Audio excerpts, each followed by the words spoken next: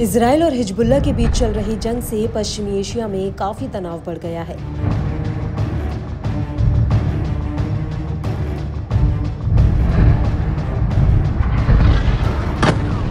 Hezbollah Israel पर हमले की योजना बना रहा है। आपातकालीन तैयारी विभाग के प्रमुख ने बताया कि हिजबुल्ला इसराइल के तीसरे सबसे बड़े शहर हाइफा पर कभी भी हमला कर सकता है।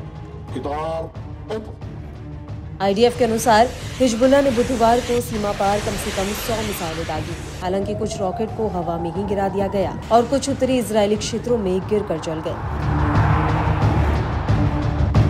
ऐसे में सवाल उठता है कि इसराइल अपने शहर हाइफा को आखिर क्यों नहीं बचा पा रहा? क्या हाइफा शहर इसराइल के लिए कमज़ोर नस बन चुका है? एक अहम सवाल ये भी कि आखिर हिजबुल्ला हाइफा पर ही हमला क्यों करना चाहता है? तो बात करते हैं कि हिजबुल्ला हाइफा पर ही हमला क्यों करना चाहता है। दरअसल, हाइफा इसराइल का तीसरा सबसे बड़ा शहर है। यहाँ तीन सौ हज़ार से ज़्यादा लोग रहते हैं। इसराइल के पास रासायनिक संयंत्रों के साथ एक बड़ा बुनियादी ढांचा है और हाइफा शहर के पास एक बंदरगाह है।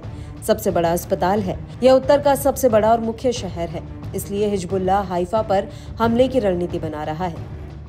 ऐसा लगता है कि इसराइल की सबसे कमज़ोर नस साबित हो रही है हाइफा का इलाका और ये शहर भी और खाड़ी भी।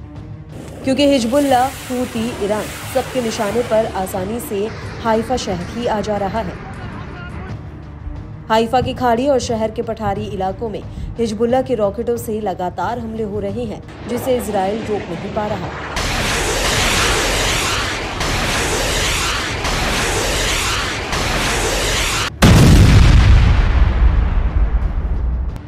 बुधवार को हुए हमले के बारे में भी आपको जानकारी दे दें कि हिजबुल्ला ने हाइफा की खाड़ी में ताबड़तोड़ करीब सौ रॉकेट दागे।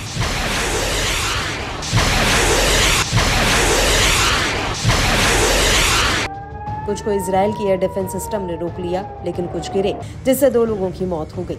आठ जख्मी हो गए, किरियत शमोना में 20 रॉकेट गिरे।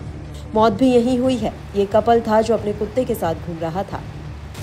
हाइफा की खाड़ी के पास वाले इलाके में तीन लोग बुरी तरह से जख्मी हुए हैं।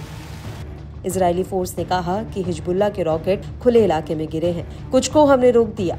इसराइली पुलिस और बम स्क्वाड के रितशमोना में कई घरों की जाँच कर रही है। पुलिस ने लोगों को ऐसी जगहों पर जाने से मना किया है जहाँ पर रॉकेट गिरे हों, क्योंकि उनमें ज़िंदा विस्फोटक होने की भी आशंका है। अगर वो फटे तो भारी नुकसान हो सकता है।